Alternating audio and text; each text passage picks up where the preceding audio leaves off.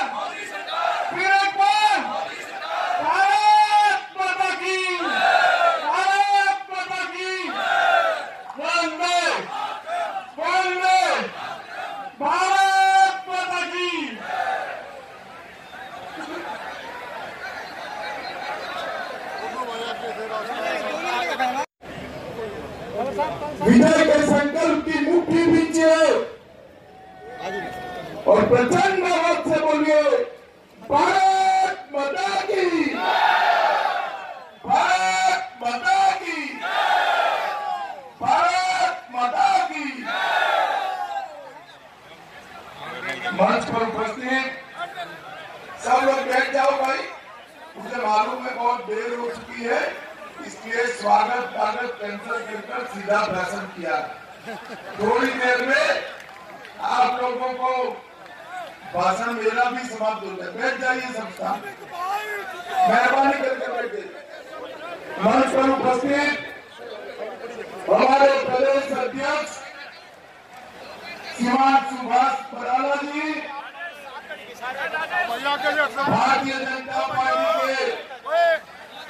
वरिष्ठ नेता महेंद्र घड़के ही विधायक, हमारे सीनियर मंत्री, मेरे मित्र, श्री रामविलास शर्मा जी प्रदेश सचिव, मुकेश गौर जी सोमवीर सांगवान जी श्री शंकर भारद्वाज जी श्री निहाल चंद जी अलवर राजस्थान के प्रत्याशी स्वामी बालकनाथ जी नारायण जोशी जी नंदराम धानिया जी शिव कुमार महता जी राम किशन शर्मा जी विपेन सोरान जी और आज इस विशाल जनसभा के अंदर आए हुए प्यारे भाइयों, बहनों, माताओं और मेरे जीवन के टुकड़े जैसे युवा मित्रों। मित्रों, आज मैं देश भर में घूमता घूमता भिवानी में आया हूँ। ये मेरा तीन सौ दोवा लोकसभा क्षेत्र है। तीन सौ दो लोकसभा क्षेत्र का दौरा करके मैं आया। देश भर में। कहीं इनके चचेरे ममेरे तो नहीं लगते हैं क्या? अरे बैठ जाओ ए दाढ़ी ए दाढ़ी बैठ जाओ। मोदी जी देश के प्रधानमंत्री हमने स्पष्ट कर। अबे राहुल एंड कंपनी है, माला महामिलावट बंधन है। मैं उन लोगों को पूछ पूछ कर मेरा गला सूख गया कि भैया, आपका प्रधानमंत्री का प्रत्याशी कौन है? उल्टा ही नहीं। तो मैं महाराज गया, वहाँ पर भी पूछा तो नासिक के कार्यकर्ता ने मुझे व्हाट्सएप किया। अमित भाई, क्यों गला फाड़ रहे हैं? मैं जवाब दे देता हूँ। मैंने कहा, भला भेद हो भाई तेरे पास है तो तू भेद दे। कौन बनेगा? बताओ। तो उसने कहा, देखो, महागठबंधन वाले आए, मिलावट वाले आए तो सबसे पहले सोमवार को प्रधानमंत्री बनेगी बहन मायावती। मंगलवार को अखिलेश, बुधवार को शरद पवार, गुरुवार को चंद्रबाबू नायडू, शुक्रवार को देवगौड़ा शनिवार को ममता दीदी और रविवार को देश छुट्टी पर चला जाएगा। तो या कोई देश ऐसे चल सकता है क्या? जिनके पास ना नेता है ना नीति है ना प्रधानमंत्री का प्रत्याशी है वो देश को सुरक्षित रख सकते हैं क्या? बताओ भैया रख सकते हैं क्या? तो इस देश को सुरक्षित एक ही नेता रख सकता है। हमारे देश के प्रधानमंत्री नरेंद्र मोदी रख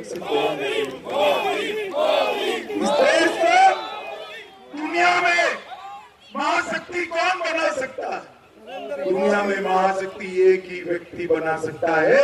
हमारे प्रधानमंत्री नरेंद्र मोदी बना सकते ये देश का गरीबों का विकास कौन कर सकता है?